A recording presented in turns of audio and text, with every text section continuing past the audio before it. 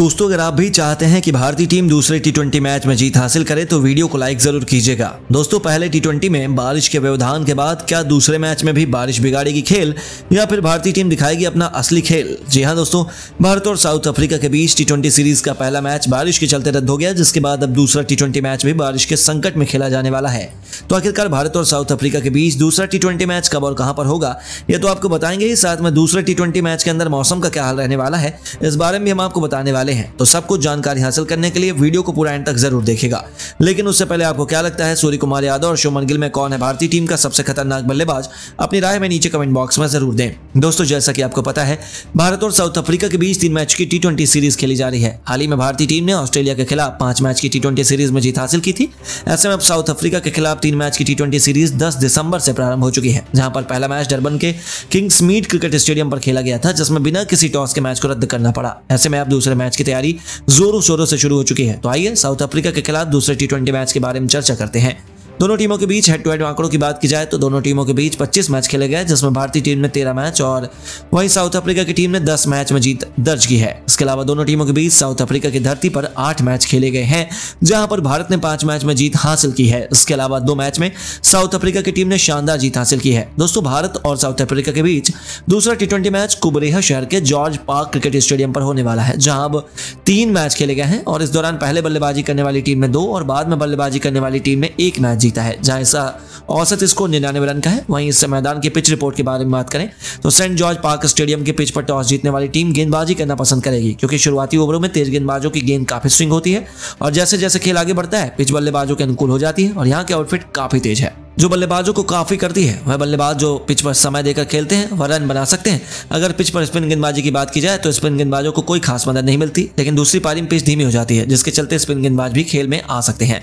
वहीं मुकाबला वाले दिन मौसम की बात करें तो मैच के दिन दौरान तापमान 18 डिग्री सेल्सियस रहने वाला है, जिसके चलते तेज गेंदबाजों को काफ़ी ज़्यादा मदद मिलेगी। हालाँकि मैच के दरमियान बारिश की संभावना दिखाई दे रही है, जिसके चलते बारिश के आने की संभावना नब्बे से पंचानवे प्रतिशत तक है। ऐसे में जो भी कप्तान टॉस जीतेगा, वह टॉस जीतकर पहले गेंदबाजी करने का फैसला करेगा, और मैच के शुरू होने के समय से एक या डेढ़ घंटे तक बारिश का काफ़ी साया है, जिसके चलते मैच देरी से शुरू हो सकता है।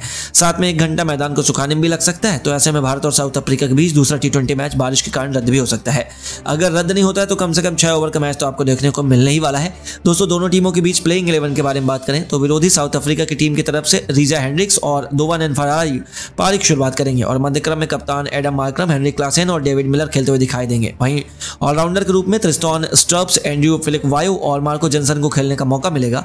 और गेंदबाज के तौर पर केशव महाराज गेराज कोएटजी और लुंगेनगिरी को खेलने का मौका मिलेगा। वहीं भारतीय टीम की तरफ़ से पारी की शुरुआत करने के लिए ऋतुराज गायकवाड़ और यशस्वी जायसवाल की सलामी जोड़ी खेलती हुई दिखाई देने वाली है। और मध्यक्रम में कप्तान Suryakumar Yadav wicket keeper बल्लेबाज श्रेयस अय्यर के साथ रिंकू सिंह को खेलने का मौका मिलेगा। इसके अलावा ऑलराउंडर के रूप में रविंद्र जडेजा को खेलने का मौका मिलेगा। वहीं गेंदबाज के तौर पर कुलदीप यादव को शामिल किया है तो इसके अलावा तेज गेंदबाजी में मोहम्मद सिराज, अर्शदीप सिंह और मुकेश कुमार को शामिल किया है तो ऐसे में अब इन ग्यारह खिलाड़ियों के साथ भारत साउथ अफ्रीका को हराने उतरेगा। दोस्तों, भारत और साउथ अफ्रीका बीच तीन मैच की टी सीरीज़ का दूसरा टी मैच बारह दिसंबर को कुबरे शहर के सेंट जॉर्ज स्टेडियम में खेला जाने वाला है, जो भारत के समय अनुसार रात को साढ़े आठ बजे से प्रारंभ होगा और इसकी लाइव कवरेज आठ बजे प्रारंभ हो जाएगी। वहीं टॉस का समय आठ बज के दस मिनट पर रहने वाला है। इसका लाइव कवरेज आप टीवी पर स्टार स्पोर्ट्स नेटवर्क पर देख सकते हैं और ऑनलाइन स्ट्रीमिंग में डिज्नी हॉटस्टार इसका लाइव टेलीकास्ट करने वाला है। इसके बाद अब भारतीय टीम साउथ अफ्रीका के खिलाफ दूसरा टी मैच खेलने के लिए तैयारी में लग चुकी है। आपको बता दें, भारत और साउथ अफ्रीका के बीच दूसरा टी मैच बारह दिसंबर को saint George Park cricket stadium पर खेला जाने वाला है, जिसके लिए दोनों टीम तैयारी में लग चुकी है। ऐसे में तैयारी को मज़बूत करने के लिए भारतीय टीम ने साउथ अफ्रीका से एक अभ्यास मैच खेला और इस मैच में भारतीय टीम के कप्तान सूर्य कुमार यादव ने टॉस जीतकर पहले बल्लेबाजी करने का फैसला किया, जहाँ पर पहले बल्लेबाजी करते हुए शुभमन गिल सूर्य कुमार यादव और रिंकू सिंह ने मैदान के चारों तरफ़ छक्के और चौकों की बारिश कर स्टेडियम में हड़कम मचा दिया। दरअसल सबसे पहले पारी की शुरुआत करने के लिए आए शुभमन गिल ने ऋतुराज गायकवाड़ के साथ मिलकर टीम को संभाला, लेकिन ऋतुराज गायकवाड़ पहले ही ओवर में दो रन बनाकर पवेलियन को लौट गए और दूसरी तरफ़ से बल्लेबाजी कर रहे शुभमन गिल ने तूफानी बल्लेबाजी करते हुए पच्चीस गेंद पर अपना अर्धशतक पूरा किया और तीस गेंद पर बासठ रन बनाने के बाद एलबीडब्ल्यू केशव महाराज की गेंद पर होकर पवेलियन को लौट गए। उसके बाद बल्लेबाजी करने के लिए श्रेयस अय्यर आए, जो दो रन बनाकर आउट हुए, लेकिन उसके बाद कप्तान सूर्य कुमार यादव ने टीम को संभाला और इस दौरान कप्तान सूर्य कुमार यादव ने तूफानी बल्लेबाजी करते हुए मात्र बीस गेंद के अंदर अपना अर्धशतक अर्धशतक पूरा कर लिया और 25 गेंद पर सड़सठ रन बनाने के बाद रन आउट होकर पवेलियन को लौट गया। और इसके बाद बैटिंग करने के लिए रिंकू सिंह आए, जिन्होंने तूफानी बल्लेबाजी करते हुए अपना अर्धशतक मात्र अठारह गेंद के अंदर पूरा कर लिया। हालाँकि अर्धशतक लगाने के थोड़ी देर बाद उन्होंने शतक लगाने का प्रयास भी किया, लेकिन पच्चीस गेंद पर अठहत्तर रन की पारी खेलने के बाद इन्होंने विकेट कीपर के हाथों कैच आउट होकर अपना विकेट लूँगी की गेंद पर दे दिया, जिसके चलते भारतीय टीम ने 240 रन, पाँच विकेट के नुकसान पर 20 ओवर में बना दिया। हालाँकि लक्ष्य का पीछा करने के लिए आई साउथ अफ्रीका की टीम को भारतीय गेंदबाजों ने काफ़ी ज़्यादा परेशान किया, जहाँ पहले ओवर में मोहम्मद सिराज ने दो बड़े विकेट लिए, लेकिन दूसरी तरफ़ से बेहतरीन गेंदबाजी कर रहे अर्षदीप सिंह ने। एक ओवर के अंदर तीन विकेट लेकर साउथ अफ्रीका की कमर ही तोड़ दी, जहाँ पर उन्होंने कप्तान मार्कम के बाद हेनरी क्लासिन और डेविड मिलर को पवेलिंग का रास्ता दिखाया। इतना ही नहीं, उन्होंने जाते जाते अंतिम ओवर के अंदर अपने अंतिम बल्लेबाज लुंगी को दो रन पर एलबीडब्ल्यू आउट किया और चार विकेट लेकर साउथ अफ्रीका को 140 रन पर ऑल आउट कर मैच को जीता। तो दोस्तों, आपको क्या लगता है, साउथ अफ्रीका के खिलाफ दूसरे टी ट्वेंटी मैच में भारतीय टीम को जीत मिल पाई या नहीं?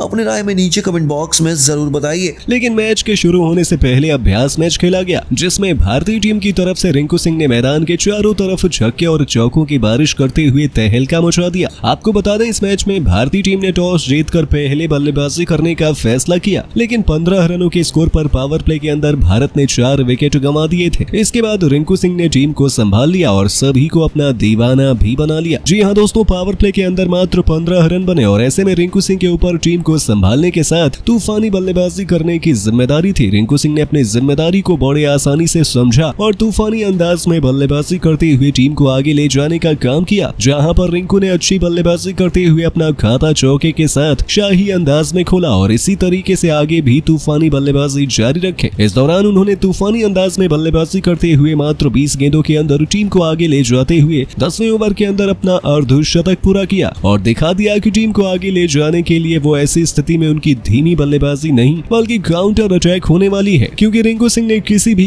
गेंदबाज और खिलाड़ी की परवाह न करते हुए मैदान के चारों तरफ़ छक्के और चौकों की बारिश कर पूरे क्रिकेट जगत को अपना फ़ैन बना लिया है। इस दौरान रिंकू सिंह ने बेहतरीन बल्लेबाजी करते हुए बारहवें ओवर के अंदर गेंदबाजी करने आए केशव महाराज को अपना निशाना बनाया और लगातार छह गेंदों के अंदर छह चौके लगाकर दिखा दिया कि वो इसी अंदाज से तूफानी बल्लेबाजी करना चाहेंगे। हालाँकि ये तो कुछ भी नहीं था। रिंकू सिंह ने इसके बाद तूफानी पारी खेलते हुए चौदहवें ओवर में गेंदबाजी के लिए आए तबरेज शमसी के सामने पहली चार पाँच गेंदों पर चौके लगाए और फिर ओवर की अंतिम गेंदों पर छक्का लगाकर अपना शतक मात्र पैंतीस गेंदों के अंदर पूरा कर लिया। हालाँकि शतक लगाने के तुरंत बाद इन्होंने अपना विकेट भी दे दिया था और पैंतीस गेंदों पर पंद्रह चौके और पाँच छक्के की मदद से 104 रनों की पारी खेलकर अपना विकेट रन आउट होकर अभ्यास मैच में दे दिए, जिसको देखकर भारतीय मैनेजमेंट काफ़ी ज़्यादा खुश हुआ है। और ऐसे ही शानदार प्रदर्शन की उम्मीद रिंकू सिंह से साउथ अफ्रीका के खिलाफ होने वाले दूसरे टी मैच में भी करने लगा है। तो दोस्तों, आपको क्या लगता है, रिंकू सिंह दूसरे टी मैच में भारतीय टीम के लिए शतक लगा पाएँगे या नहीं? कॉमेंट में ज़रूर बताइए। दोस्तों, भारत और साउथ अफ्रीका के बीच तीन मैच की टी सीरीज़ का पहला मैच डरबन के किंग्स मीट क्रिकेट स्टेडियम पर खेला गया, जहाँ पर जैसे ही दोनों टीम मैदान पर तैयारी के लिए आई तो तेज बारिश शुरू हो गई। और मैच काफ़ी देर तक रुका रहा, लेकिन मैदान के हालात को देखकर बारिश के बंद हो जाने के बाद अंपायर ने फैसला दोनों कप्तान के साथ मिलकर 10-10 ओवर का मैच करने के साथ लिया, जहाँ पर साउथ अफ्रीका के कप्तान एडम मार्कम ने टॉस जीतकर पहले बल्लेबाजी करने का फैसला किया, जो गलत साबित हुआ। क्योंकि भारतीय टीम इस मैच को जीत गई। दरअसल अफ्रीका की टीम की तरफ़ से पारी की शुरुआत करने के लिए रीजा हेंड्रिक्स और देवोन फरेरा मैदान पर आए। और गेंदबाजी की शुरुआत मोहम्मद सिराज ने की, जिन्होंने ज़बरदस्त गेंदबाजी करते हुए पहले ही ओवर के अंदर बल्लेबाज देवोन फरेरा को बिना खाता खोले विकेट कीपर के हाथों शानदार कैच के चलते कैच आउट करा दिया। इसके बाद बल्लेबाजी करने के लिए कप्तान मार्कम मैदान पर आए, जिन्होंने रीजा हेंड्रिक्स के साथ मिलकर टीम को संभालने का प्रयास किया और तूफानी बल्लेबाजी करनी प्रारंभ कर दी। लेकिन दूसरी तरफ़ से बेहतरीन गेंदबाजी करने के लिए अर्शदीप सिंह ने ज़बरदस्त गेंदबाजी करते हुए रीजा हेंड्रिक्स को अपनी लहराती हुई गेंद पर विकेट कीपर के हाथों दो रन बनाने के बाद कैच आउट कराया। इसके बाद बल्लेबाजी करने के लिए हेनरी क्लासेन मैदान पर आए, जिन्होंने कप्तान मार्कम के साथ मिलकर तूफानी बल्लेबाजी की और इस बीच दोनों बल्लेबाजों ने तूफानी बल्लेबाजी करनी प्रारंभ कर दी। दोनों बल्लेबाजों ने मिलकर मैदान के चारों तरफ़ बारिश की, लेकिन इस बीच गेंदबाजी करने के लिए आए पाँच ओवर में रवि बिश्नोई ने बेहतरीन गेंदबाजी करते हुए हेनरी क्लासेन को उनतीस रन के स्कोर पर एलबीडब्ल्यू आउट कर दिया। जिसके बाद बल्लेबाजी करने डेविड मिलर मैदान पर आए, जिन्होंने कप्तान मार्कम के साथ टीम को संभाल लिया। इस दौरान डेविड मिलर ने बेहतरीन बल्लेबाजी करते हुए आगे भी तूफानी अंदाज से बेहतर प्रदर्शन करते हुए सातवें ओवर के अंदर गेंदबाज मुकेश कुमार को आड़े हाथों लिया। उनके सामने लगातार चार गेंद पर चार चौके, दो गेंद पर दो छक्के लगाकर ओवर के अंदर छब्बीस रन बटोरे और दिखा दिया कि वो इसी अंदाज से तूफानी बल्लेबाजी करते हुए दिखाई देने वाले हैं। हालाँकि दोनों बल्लेबाज इसी तरीके से बल्लेबाजी कर रहे थे, लेकिन अंतिम ओवर के अंदर गेंदबाजी कर रहे मोहम्मद सिराज ने ज़बरदस्त गेंदबाजी करते हुए कप्तान मार्कम को चौवालीस रन बनाने के बाद सूर्य कुमार यादव के हाथों शानदार कैच के चलते आउट कराया। उसके बाद इसी ओवर के अंदर बल्लेबाजी कर रहे डेविड मिलर को भी अपना निशाना बनाया। उनको विस्फोटक बयालीस रन के स्कोर पर गेंदबाज मोहम्मद सिराज की गेंद पर चारों खाने चित्त करते हुए क्लीन बोल्ड कर दिया। जिसके चलते अफ्रीका की टीम ने दस ओवर में एक सौ पैंतीस रन, पाँच विकेट के नुकसान पर बना दिए। हालाँकि एक सौ छत्तीस रनों के लक्ष्य का पीछा करने के लिए जैसे ही भारतीय टीम मैदान पर आई तो भारतीय टीम की तरफ़ से बारीक शुरुआत यशस्वी जायसवाल और ऋतुराज गायकवाड़ की जोड़ी ने की। तो वहीं गेंदबाज की शुरुआत लुंगी ने की, जिन्होंने पहली ओवर में ज़बरदस्त गेंदबाजी करते हुए बल्लेबाज यशस्वी जायसवाल को मात्र एक रन की स्कोर पर विकेट कीपर के हाथों कैच आउट कराया। इसके बाद बल्लेबाजी करने के लिए श्रेयस अय्यर मैदान पर आए और दूसरी तरफ़ से बल्लेबाजी कर रहे ऋतुराज गायकवाड़ तूफानी प्रदर्शन करने के लिए तैयार थे। लेकिन इसी बीच दूसरी तरफ़ से गेंदबाजी करने के लिए आए स्पिन गेंदबाज केशव महाराज ने ऋतुराज गायकवाड़ को भी पवेलियन का रास्ता दिखाया।